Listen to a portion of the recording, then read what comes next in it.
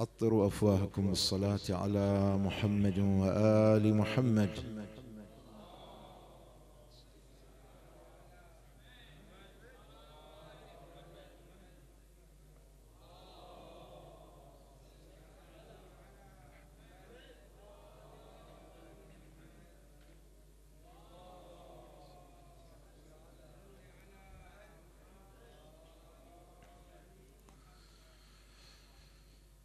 لا حول ولا قوة إلا بالله العلي العظيم.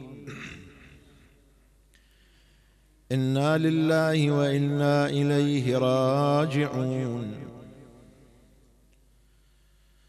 صلى الله وسلم عليك يا أبا عبد الله. وعلى جدك وأبيك وأمك وأخيك والتسعة المعصومين بنيك فاز من تمسك بكم وأمن من لجأ إليكم يا رحمة الله الواسعة ويا باب نجاة الأمة غريب يا مظلوم كربلاء.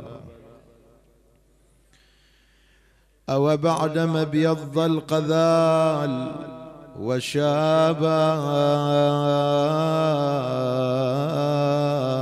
أصبو لوصل الغيد أو أتصابا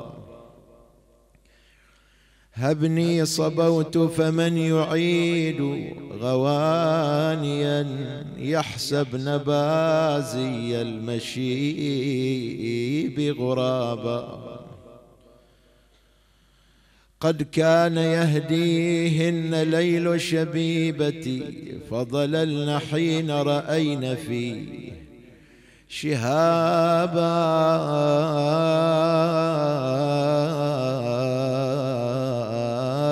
والغيد مثل النجم يطلع يطلع في الدجى.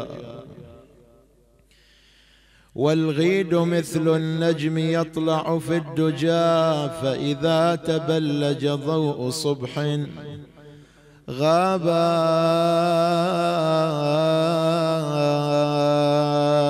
لا يبعدن وإن تغير مألف. بالجمع كان يؤلف أحبابا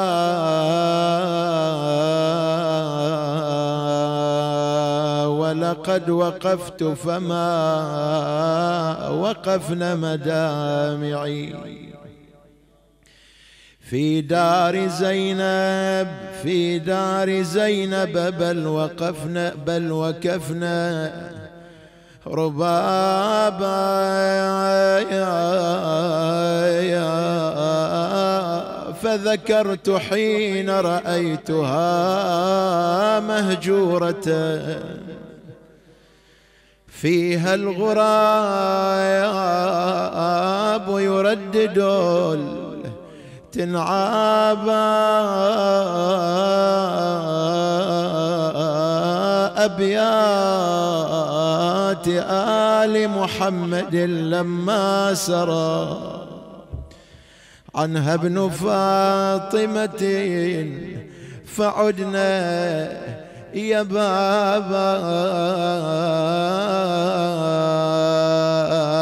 لقوا ضعون من المدينة وسافر. حسين خايف من خلفه محمد وأم الابن. وحالة محمد يا خلق تشجي أعادي أوالي ولا يلام على ذلك. معذور محمد حيث يفارق الحسين ونور الحسين. وحالة محمد يا خلق تشجي الأعادي مشقوق جيبه ويلطم الهامة. ونادي يا حسين ليلة سوق الضعين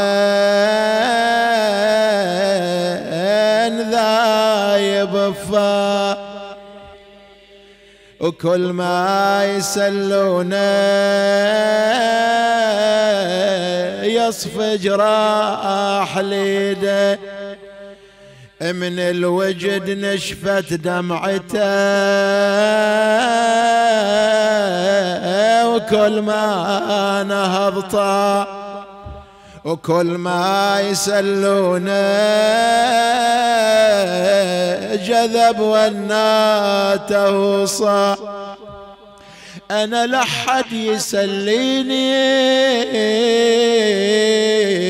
ترى من الأخورة.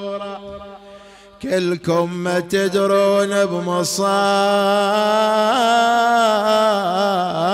يا مسلمي هل يسوقون الضعاين النشان؟ قلبي ما هو باني عليهم بالسلام. ليش يا محمد؟ قال خايف يرد الضعين بس نسوى ويتا يا حسين ريض بالضعين يا قرة العين. إلا يا حسين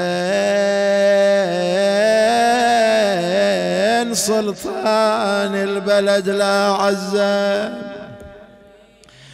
الله هذا الطور القديم هذا طور آبائنا وأجدادنا. الله يقول يا حسين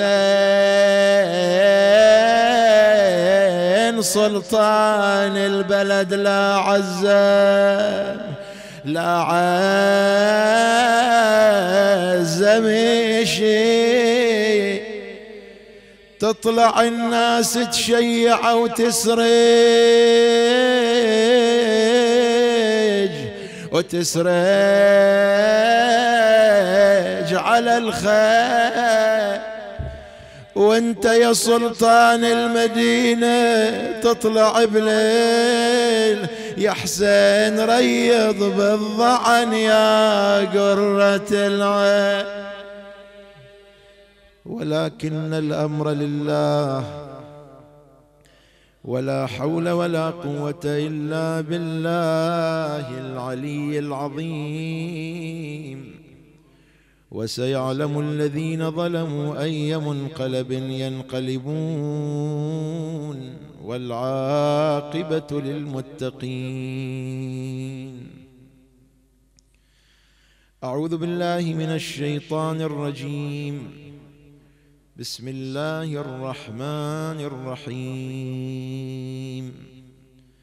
ونفس وما سواها فألهمها فجورها وتقواها. قد أفلح من زكاها وقد خاب من دساها. لأجل سلامة إمامنا بقية الله الأعظم صاحب العصر والزمان وإمام الإنس والجان عجل الله تعالى فرجه الشريف ولتعجيل فرجه الشريف ارفعوا أصواتكم بالصلاة على محمد وآل محمد.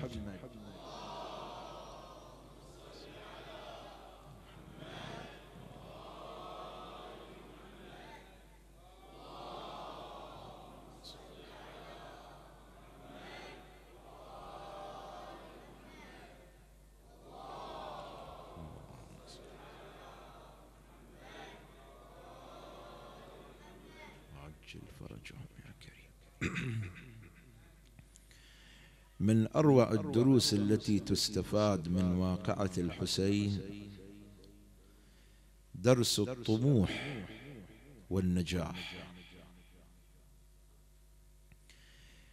السعي للنجاح وامتلاك الطموح يعد مفتاحا من مفاتيح الحياة الطيبة.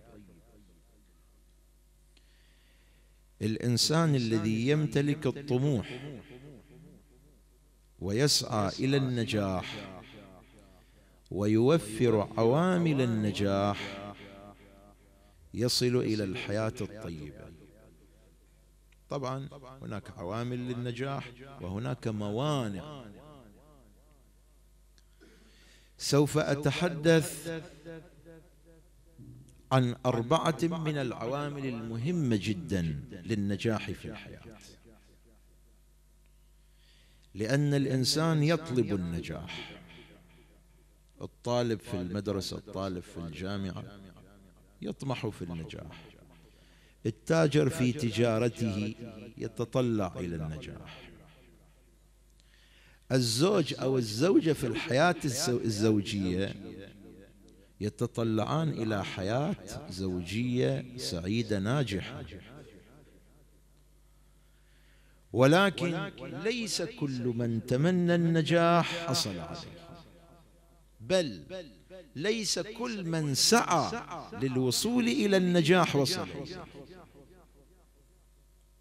لأن للنجاح عوامل وأسباب. علماء النفس علماء التربية.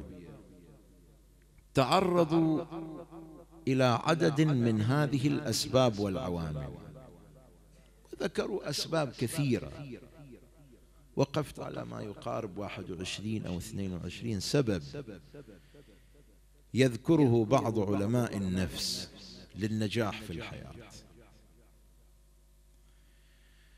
هذه الأسباب جميعا تندرج في أربعة أسباب رئيسية. بشكل أو بآخر ذكرها الإمام الصادق سلام الله عليه في رواية.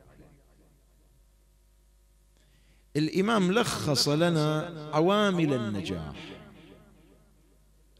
في أربعة. رواية جدا جميلة. يقول سلام الله عليه ما كل من نوى شيئا قدر عليه. ولا كل من قدر على شيء وفق له. ولا كل من وفق لشيء أصابه أو أصاب له. فإذا اجتمعت النية والقدرة والتوفيق والإصابة فهنالك تمت السعادة.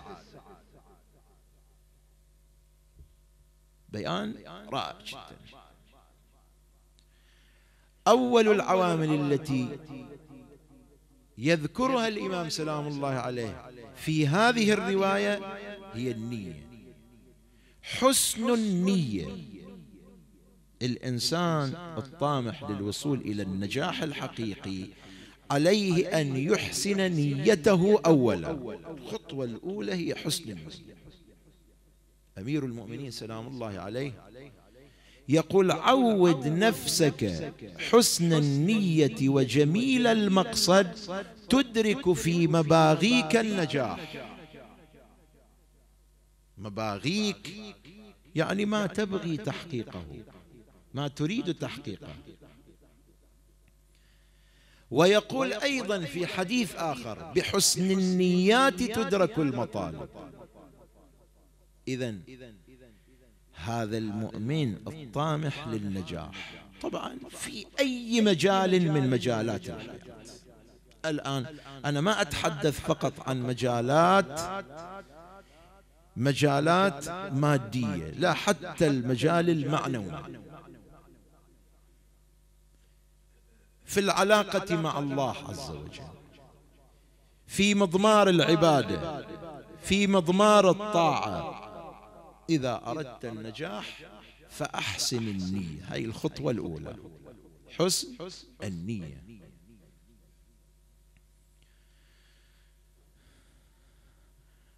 العامل الثاني القدرة. وهذا عامل واضح جدا.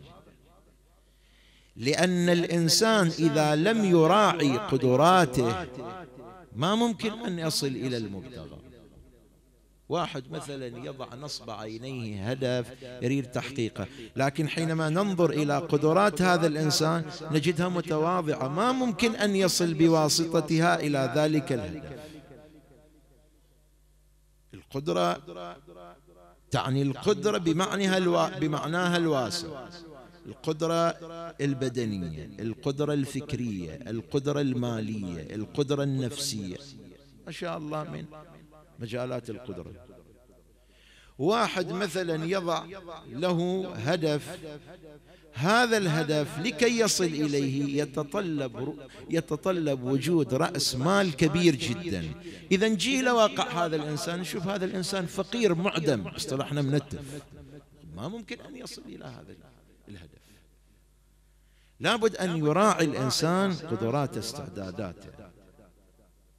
وبنو البشر يتفاوتون في القدرات والاستعدادات قد تجد إنسان مثلا متواضع في قدرته الفكرية لكن في قدرته البدنية لا يتمتع ببسطة في الجسم ويتمتع أو في قدرة المهارية عنده مهارة. شايف البعض مثلا تريد يدرس ما يفلح في الدراسة لكن خليه يتخصص في مجال عملي أشوفه يبدأ. وبالعكس أحيانا نجي إلى شاب هذا الشاب إذا تريد منه يتخصص في مجال عملي ما يفلح لكن خليه يدرس شوف لا يصل إلى مراتب عالية جدا. هناك قدرات هناك استعدادات. من يريد النجاح عليه أن يشخص هذه القدرات هذه الاستعدادات ويبني أهدافه يرسم خططه وفق هذه الاستعدادات. طبعا الإنسان لابد أن يكون عنده طموح لابد أن يكون عنده طموح عال جدا. لكن خلي يملك مفاتيح الوصول إلى ذلك الهدف أو إلى ما يطمح إليه. إذا قد يكون الإنسان حسن النية ولكن لا يصل إلى مبتغاه لماذا؟ لأنه لا يملك القدرة. هذا العامل الثاني العامل الثالث التوفيق. التوفيق مهم جدا. قد يمتلك الإنسان حسن النية والقدرة كذلك ولكنه لا يصل إلى النجاح. لماذا؟ لأنه يفتقر إلى التوفيق. التوفيق. عامل غيبي التوفيق مو بيد الإنسان متى ما شاءه يسحبه لنفسه. لا. التوفيق بيد الله عز وجل. شوف القرآن يحكي عن هذا العبد الصالح. سلام الله عليه. ماذا يقول؟ يقول وما توفيقي إلا بالله. حصر أبناء اللغة العربية تعرفون أساليب الحصر. وما توفيقي شوف نفي واستثناء. من أساليب الحصر كما هو. وما توفيقي إلا بالله. عليه توكلت وإليه أنيب. فهذا الإنسان اذا يحتاج إلى التوفيق في حياته. إذا يفتقد التوفيق لا يصل إلى النجاح. عنده حسن نية وعنده قدرة لكن ما تكفي. لابد من التوفيق. هذا العامل مهم. وترى هذا العامل يبين ضعف الإنسان. وفقر الإنسان. لأن الإنسان أحيانا يطغى. إذا تصور أنه يمتلك القدرة عنده قدرة فكرية عنده قدرة مالية عنده قدرة بدنية يتصور أنه قادر على تحقيق ما يشاء. مسكين إن الإنسان ليطغى أن رآه استغنى قارون متصور أنه يمتلك العلم ويمتلك المال ويمتلك القدرة لكن بعد ذلك كل هذه القدرة الوهمية تلاشت. فأحيانا الإنسان يمتلك حسن النية يمتلك القدرة ولكنه لا يصل إلى النجاح. أعطيك شاهد من واقعة القاف. حتى لا نتحدث بعيد عن واقعة الحسين. الحسين سلام الله عليه لما خرج من مكة كتب رسائل إلى أفراد متعددين. كتب رسائل إلى وجهاء البصرة. الآن عدد هؤلاء كم يختلفون؟ الطبري يقول خمسة فقط. غيره يقولون لا أكثر من خمسة. وهم أكثر من خمسة. نعم أهل الأخماس أرباب الأخماس هم خمسة. وهذه مسألة هامشية ليست بدقيقة. بعث إليهم برسائل يدعوهم لنصرته. الأحنف بن قيس مالك بن مسمع البكري عمرو بن معمر مسعود بن عمرو وغيرها يزيد النهشلي يزيد بن مسعود النهشلي. هذول وجهاء البصرة. بعث إليهم الحسين برسائل يدعوهم فيها لنصرته. كل هؤلاء تخاذلوا. إلا واحد فقط. وهو يزيد النهشلي. الأحنف بن قيس تعلمون ماذا صنع؟ موقف جدا مخجل. كتب إلى الحسين سلام الله عليه يأمره بالصبر. يأمر الحسين بالصبر. ولا يستخفنك الذين لا يوقنون. فاصبر. إن وعد الله حق. كأنما الحسين طالب منا النصيحة. يعني لو كان يخجل شوية لا عجيب هذا الرجل. على كل حال. والرجل ترى إلى مواقف زينة كريمة مع الإمام أمير المؤمنين. في صفي. لكن بعد هاي الحياة واحد ما يلتفت إلى نفسه. ويراقب هذه النفس ويجاهد هذه النفس قد يسقط. مخيف هذا المسير. يسأل الله حسن الخاتمة نعم.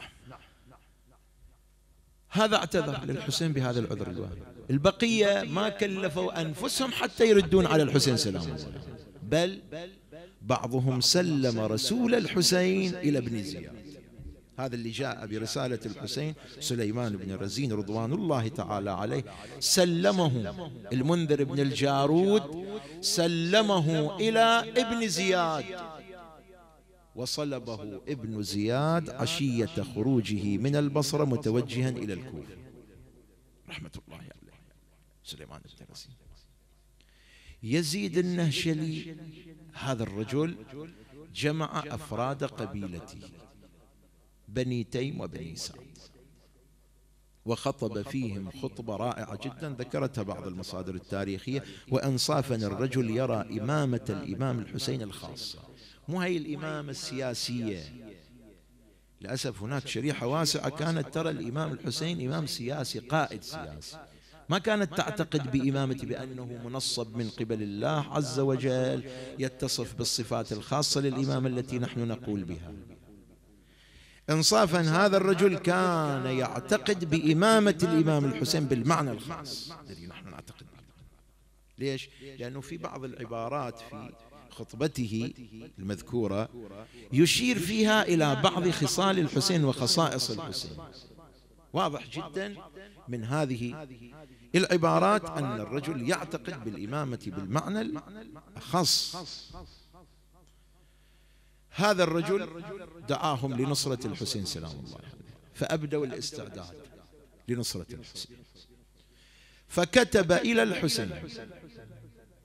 كتب إلى الحسين أنه على استعداد ومن معه لنصرته. فقط يريد إجازة. الرواة المؤرخون يقولون الرسالة وصلت إلى الحسين يوم عاشوراء. متأخر. وصلت للحسين سلام الله عليه. يوم عاشوراء فتحها الحسين قرأها ثم رفع يده الشريفة إلى السماء ودعا ليزيد النهشلي قال اللهم آمنه يوم الفزع الأكبر. مضى الحسين شهيدا. وصل الخبر إلى يزيد النهشلي فأصيب بحزن شديد أخذ يبكي بكاء الثكلى. متأسف. سعادة.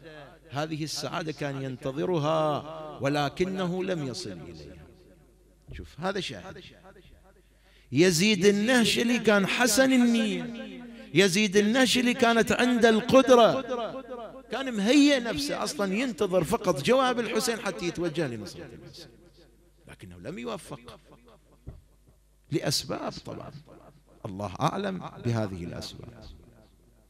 فالرجل إذن يمتلك حسن النية ويمتلك القدرة ولكنه يفتقد إلى التوفيق. العامل الثالث إذن هو التوفيق. كن نسأل الله عز وجل دائما أن يوفق في تربية أولادك اسأل الله عز وجل أن يوفقك. لا تعتمد على قدراتك لا تعتمد على ما عندك من علم ومعرفة ولا تعتمد على قدرتك. لا يكون تطلب من الله عز وجل أن يوفقك لتربية في تربية الأبناء. العامل الرابع الإصابة وهي الظفر بالمطلوب تحقيق أن يصيب الهدف. قد يقول قائل إذا اجتمعت النية واجتمعت القدرة واجتمع التوفيق أي ثلاثة ألا يكفي ذلك؟ خب واحد حسن النية وعنده قدرة وموفق حتما راح يصير حتما سيصيب النجاح. فلماذا إذا ذكر الإصابة؟ الجواب. ليس بالضرورة من يمتلك الثلاثة اللي هي حسن النية والقدرة والتوفيق أن يصيب. مو شرط. قد يمتلك حسن النية وقد يمتلك كذلك القدرة وقد يمتلك التوفيق ولكنه لا يحقق. قد تسأل كيف؟ أعطيك أيضا شاهد من ثورة الحسن لعلكم سمعتم بهذا الاسم الضحاك بن عبد الله المشرقي الضحاك جاء هو ومالك بن النضر الأرحبي. ويبدو أن الحسين نزل في كربلاء. يقولان جئنا وسلمنا عليه وتذممنا منه. يعني نعرف ما له من حق في ذمتنا. فقال لنا ما يمنعكما من نصرتي؟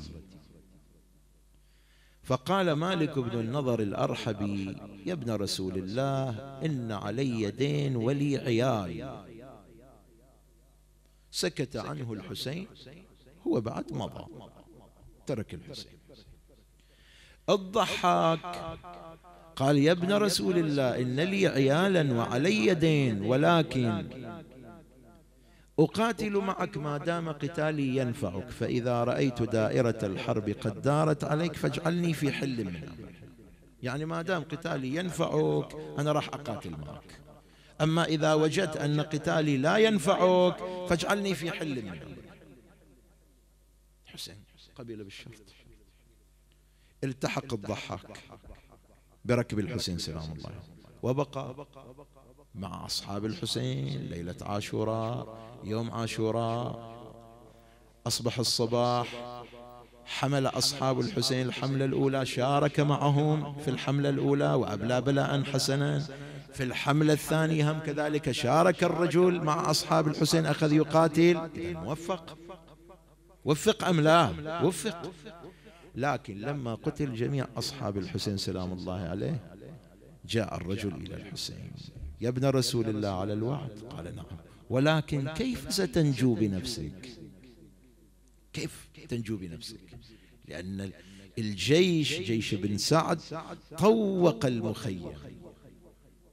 شلون راح تنجو؟ قال لا عليك يا ابن رسول الله لقد خبأت فرسي في فسطاط قريب. يعني أصلا مهيئ نفسه لمثل هذه اللحظة. راح وأخرج الفرس وارتقى على ظهر الفرس وفر وترك الحسين وآل الحسين للقتل والقتال. أصاب هذا الرجل؟ ما أصاب. ما أصاب. مع أنه وفق للقتال مع الحسين سلام الله شوف هنا الإصابة.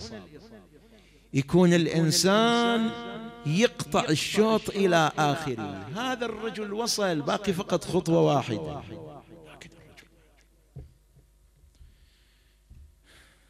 هذه أربعة أعوام يقول الإمام إذا اجتمعت يعني واحد منها ما يكفي اثنين منها ما تكفي ثلاثة منها ما تكفي. إذا اجتمعت معا فهنالك تمت السعادة. يصل الإنسان إلى السعادة. شوفوا أصحاب الحسين سلام الله هؤلاء خب الحسين اشترط اشترط منذ خروجه من مكة متوجها إلى العراق. اشترط.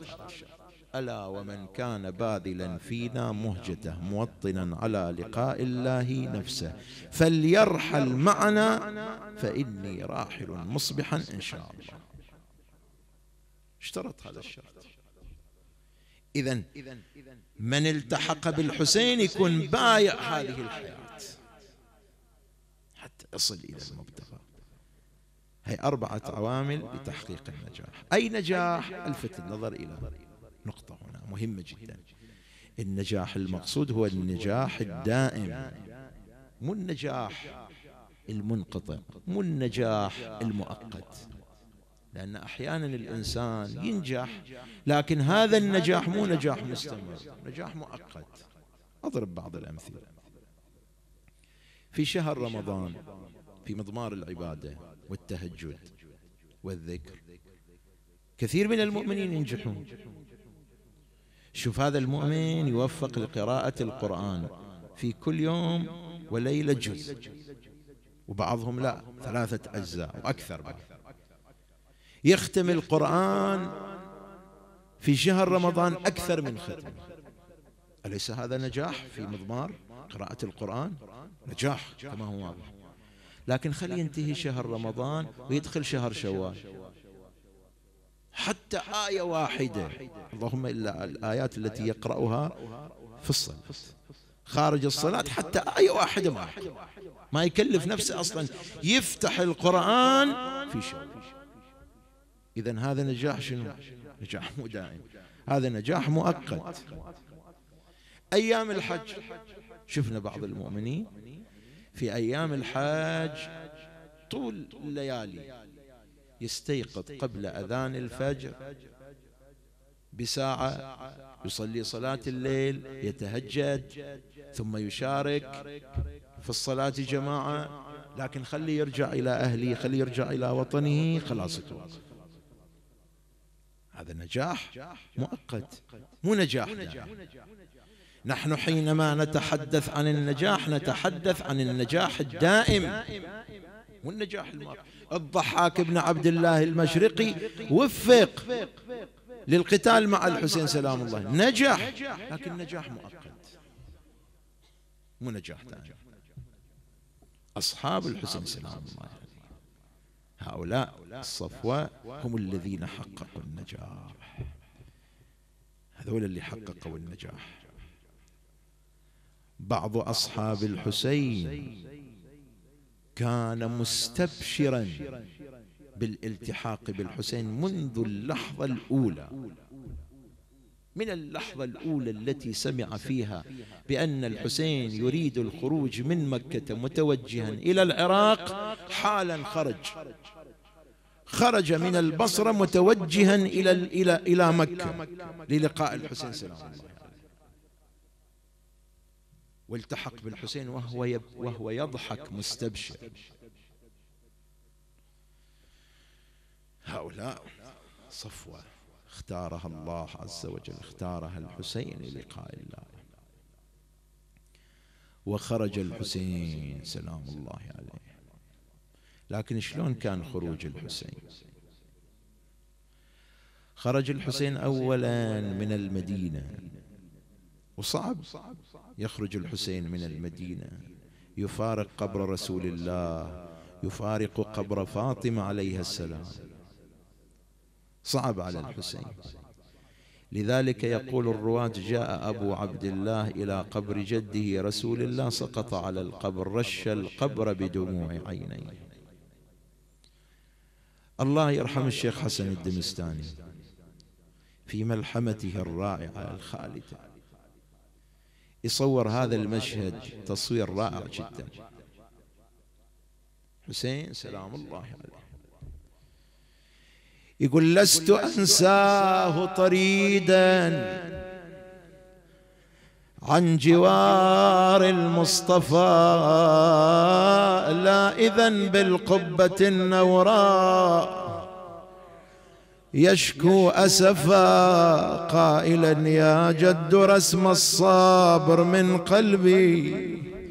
عفا ببلاء أنقض الظهر وأوهى المنكبه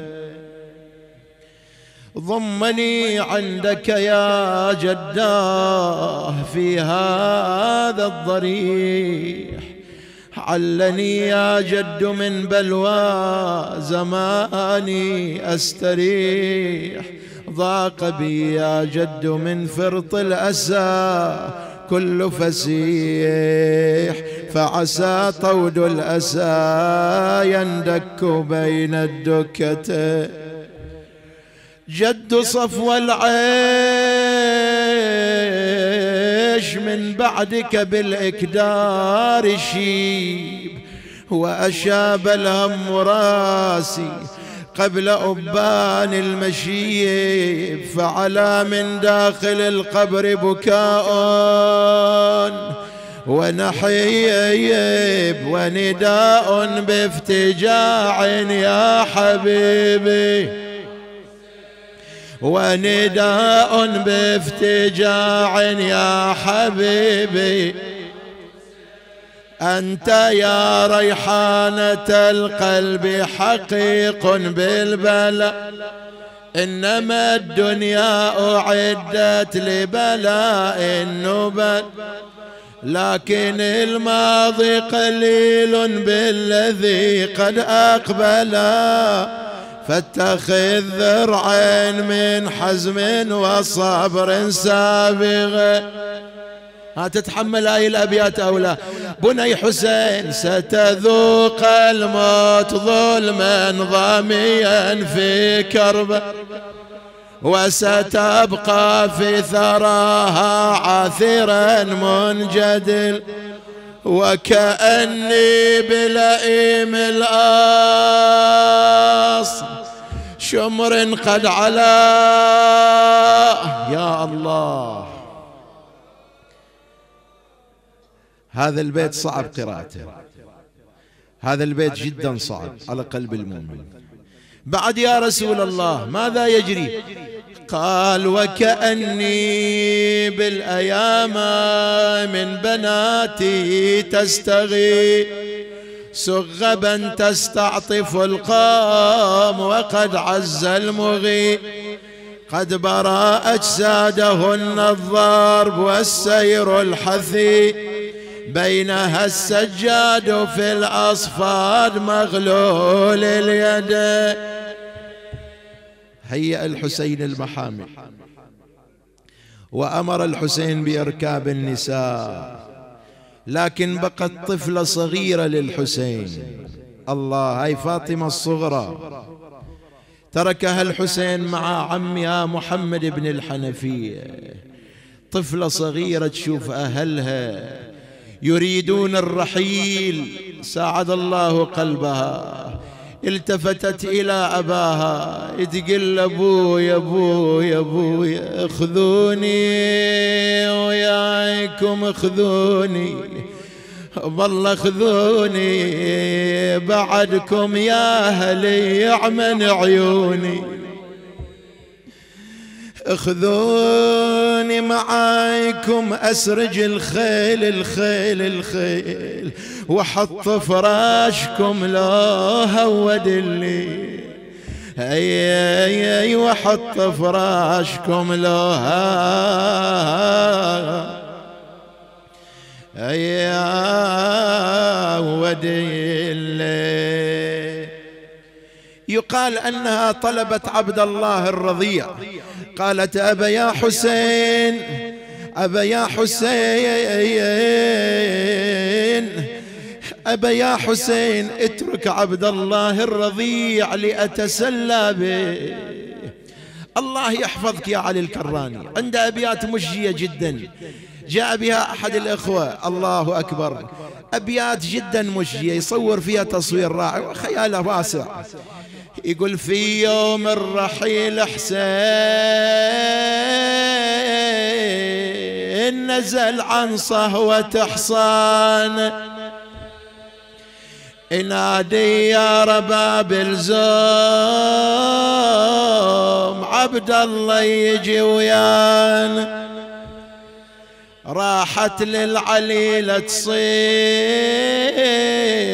أم ياضي وعيوني يا عبد الله تعالوا يا أسليك وتسلي. ما أقدر على فرقاك يا ابن الفرقة تشويني. رفض عبد الله حضن أمه وكان الصمت عنوان. الله تقدمت زينب تقدمت زينب إلى عبد الله الرضيع. يقولوا زينب لفتح وياه يا يا مهجة مهجتي وحشا أن العمة يروح العين أن العمة يا روحي وين؟ راحت ضحكتك ويا. مثل أمك أنا ربيت يا ابني لو نسيت ربا. رادت تحمل العمه وظل الطفل بمكانه لفت أخت الحبيبة تصيح سكينة تقدمت. لفت أخت الحبيبة تصيح. يا عبد الله أني سكنة. تعال بحجري مثل أول. أسكت منك الون. تعالوا يا للمظلوم. نخفف كل حزن عنه عبد الله ما رد جواب وردت عنها أحزان. الله افتح قلبك. الآن وصلنا إلى الأبيات القاسية. هاي الأبيات اللي تفطر القلب. آجركم الله. يقول من شاف الأخ بهالحال الأكبر نزل عن مهره. واقسم عالطفل بالمختار والكرار والزهرة وباللطمة وبالأضلاع وبالمحسن وبالعصرة. عبد الله صمت وحسين علت ضجات نسوان. بعد منه تقدم؟ تقدم أبو الفضل. تقدم العباس. يقولوا نزل عباس عن مهرة يريد المشكلة يحلها. ينادي يا رضيع حسين أنا هالسفرة كافلة. تعالوا لا تخاف عداك. لو هجمت أجدله سكت عبد الله والعيلة. من موقفه حيران. بعد عباس راح حسين متوجه لعند ابنه. وقرب ثغره الطاهر وهمس للطفل في إذنه. يقول له عمك المحسن إن اترك يا ابني بالجنة والزهراء بعد الراح حق شافتك ولان. أريدك يا ابن عبد الله تماثل محسن بن أمي.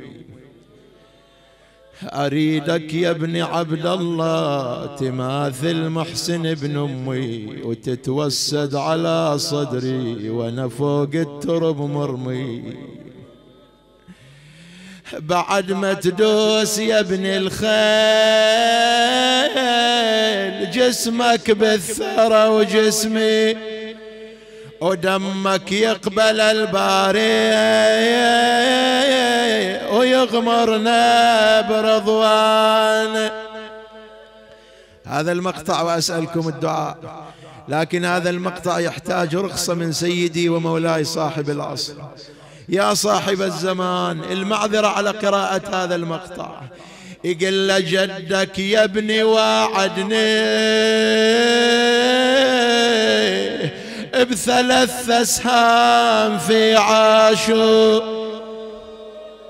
سهم سهم مثلث بنحراك يوقع والدموم تفوق. وسهم بعين أبو فاضل يخليني بظهر مكسور. أين المنادي وحسينا؟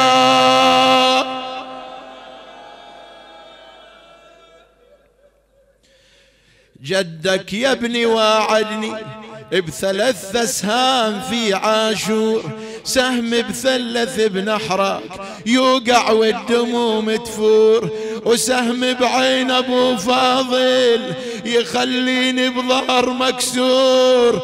وابوك بسهم مثل النار يوقع من على حصانه.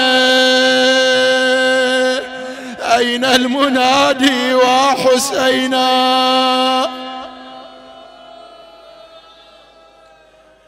حسين حسين حسين. حسين حسين يا حسين حسين. حسين.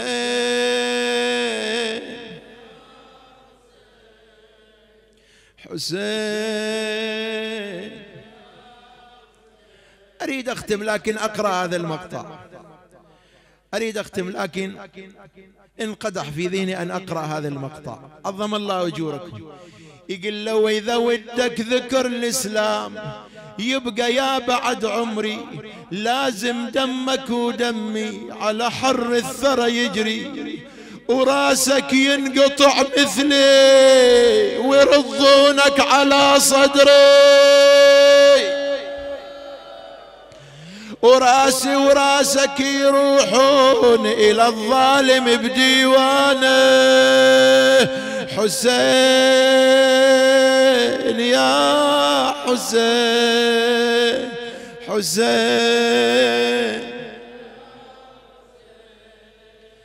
حسين.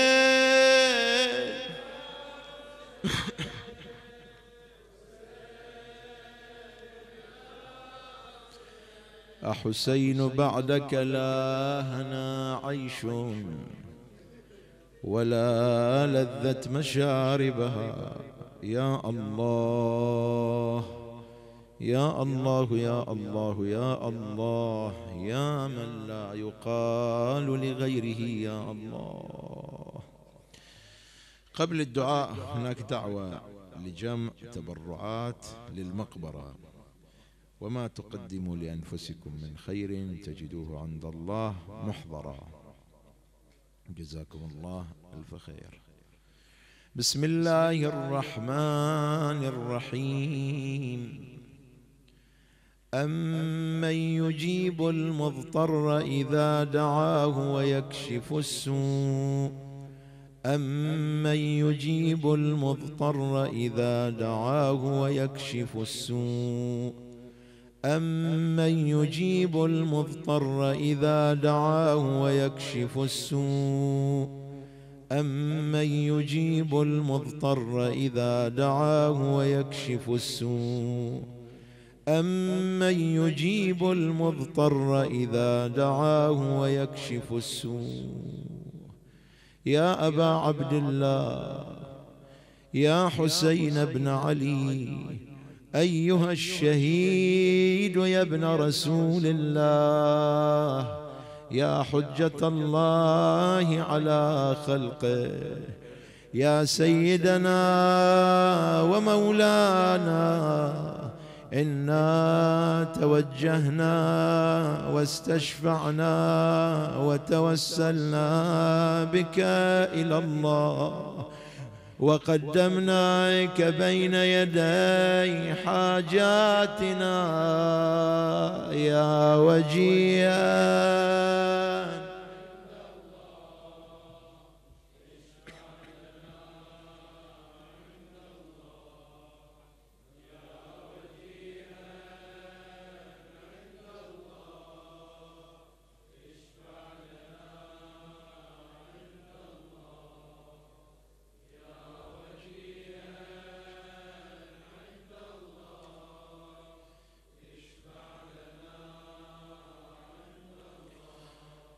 اللهم إنا نتوجه إليك بالحسين وجده وأبيه وأمه وأخيه والتسعة المعصومين بنيه أول مطلب أول دعاء. اللهم عجل لوليك الفرج سهل له المخرج اجعلنا اللهم من أنصاره وأودائه. والمجاهدين بين يديه وتحت لوائه وشرفنا بلقائه. اللهم كن لوليك الحجة ابن الحسن صلواتك